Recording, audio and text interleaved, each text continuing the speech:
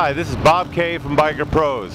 We're here at the 2012 Sturgis Bike Rally and we're under the tent of the 9th Annual AMD World Championship.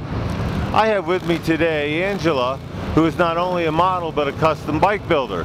She works for AFT Customs, which is a unique business model combining the talents of modeling and building custom bikes. Now Angela, um, there has to be some advantages to this combination. Uh, so can you tell us what got you interested and how you got started in this business? Obviously, bike building is a world in its own, but be able to, uh, being able to model the bikes as well in the process has been something that's been completely a blessing to everyone here. Um, being a female bike builder, we came into this industry with a lot of people curious about whether or not we'd be able to do this. And then on top of that, modeling the bikes as well has been something that surprised a lot of the industry. So um, getting started in this has been an amazing process. You know, uh, pretty models and hot custom bikes have been a tradition for a long time, um, but I'm sure there's more to it than just kind of standing together and taking pictures um, and having this unique perspective from building the bikes. Can you tell us a little bit about what you're thinking of and what your job as a model with the motorcycle and not overshadow but enhancing the motorcycle is? Right. There's a lot that you have to think about as a model. It's not just a pretty girl coming out in a bikini. Um, there's different bikes and for every different bike you're going to need to model differently. Um, some bikes that are a little bit more husky you're going to need to look leaner and slimmer and you're really going to want to show off the entire bike. But for a bike like this, you're going to have something with a little bit more detail to it and you really want to show off those little details because everybody may not see that right away. So everything that you see in those calendars, they're done with purpose and with the bike in mind because it's not about the model and how good she looks, it's about how good she makes that bike look. So okay, so that's easy to say that it's not about the model and how good she looks. So can you give us an example with this particular bike of how you would like enhance the picture yet keep the focus on the motorcycle? With this bike, since there's a lot of detail to it, you're going to want to be placing your hands on the bike because it's going to draw the attention with those lines leading to those details. So for this bike, I may get down low, close to it, so that way since the focus is on me, I'm leading their focus to the bike.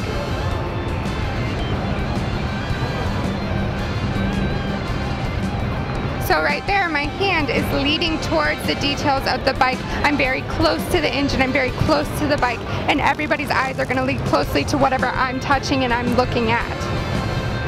Now, a lot of times over the years, I see a lot of models and they climb over the bikes and they're sitting on it. You know, one thing the builders are always concerned about is the parts and all the work, so you understand that. But is that really one of the best views or does that take away from the bike? Um, some, it's the, it's about the way that you model the bike and how you're laying on the bike and everything that you're doing with the bike. And obviously being a builder myself, that's a main concern for me is that I'm not going to do anything to damage the bike. Um, especially when you're wearing heels or I have jewels on my bikinis, you want to be completely careful of the bike. Um, but laying across it and getting on the bike, it gets the viewer involved with the bike because all of those lines, it's all about art, artistic lines and leading lines and where those lines are leading the viewer's eyes. So when you're laying across a bike, you're displaying the entire bike. So can you show us the proper way of how you would do that without damaging it? And yet again, like you're always saying, enhance the bike. So I'm gonna get on the bike. What I'm gonna be careful of is where my heels are going and where my jewels are going so I don't scratch any part of this bike. But at the same time, I'm gonna make this bike look very long and I'm gonna try and highlight the detail that goes into it.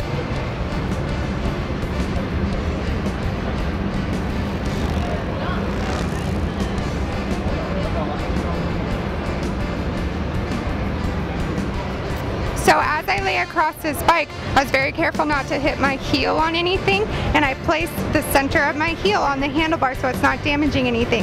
Then also letting my leg lean down, that leads all of their eyes to the detail of this bike. Placing my hand in the back over here, it leads their eyes to the detail of this bike. So that's something that I keep in mind every time I choose a pose or a pose that I'm doing. Obviously I want to make sure I look good, but the most important thing is making the bike look good.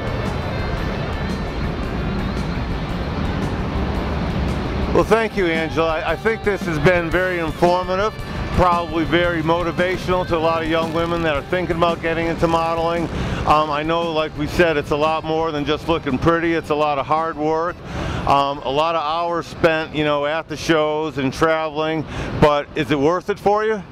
It's incredible. I just want to encourage all the women out there. This is a male dominated industry, but any woman can get in here, get their hands dirty, and build a bike. Well, thank you again, and thanking AFT and the AMD World Championship.